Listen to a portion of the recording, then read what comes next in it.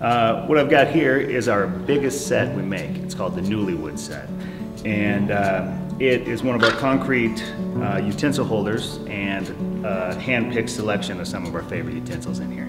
Uh, let me start from the biggest to the smallest. You got our big classic ladle right here. That's perfect for soups uh, and any big hearty meals like that. Gotta have one of those.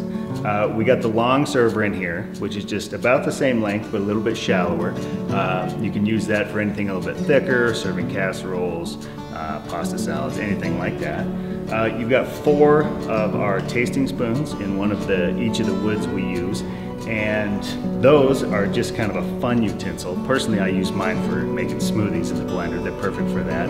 They're perfect for big uh, jars of uh, iced tea or something like that.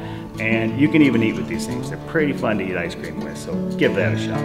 And then you've got our most useful set, which is called the Essentials. Uh, that one uh, gets you the little hardwood spreader, the cast iron specialist, which is our Tera scraper, and then two of our large flat sautés, which are our two favorite utensils. So these are the best two things we make. You can't go wrong with having a couple of those in the kitchen. Then, to put it all in, you get the concrete utensil holder.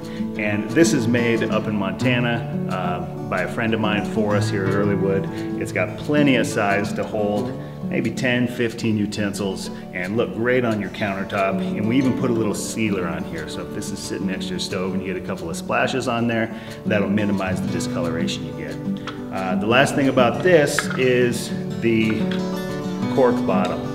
Uh, my friend Matt that makes these puts a cork bottom on there to make sure if you have a nice countertop that you don't want scratched up, this thing can sit there and not cause any damage.